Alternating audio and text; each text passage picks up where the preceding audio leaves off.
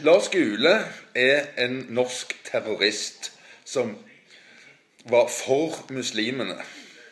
Og nå bruker NRK denne herrene muslimske terroristen som sannhetsvitne. Hvordan i helvete kan NRK finne på å bruke en dømt terrorist som er dømt for muslimsk terrorisme, som sannhetsvitne og mot helten vår? Han er mot Storhaug. Det er helt på trynet av NRK å bruke en terrorist som uh, kommentator.